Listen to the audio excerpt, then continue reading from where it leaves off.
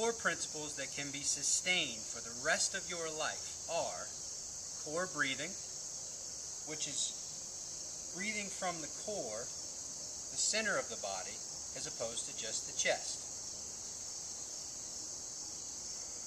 The next principle is sameness of movement, and that is that all human mobility, the act of being in motion, is either pushing or pulling with the arms, moving up or down with the legs, or a combination thereof.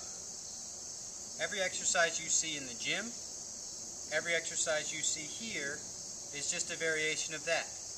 Meaning, when you have any new piece of equipment or new thing you're about to do, you can always know that it'll be a variation of either pushing and pulling with the arms, down and up with the legs. The third principle is spiral ranges of motion. Spiral ranges of motion are very, very efficient ranges of motion for the body because every joint in the body, ankles, knees, vertebra, neck, shoulders, are rotational axes, meaning they move along a rotational axis. Rotational axes, or axes, excuse me, spiral in relation to each other as they move through space, which means when you go through any range of motion, it is more efficient to move through that range in a spiral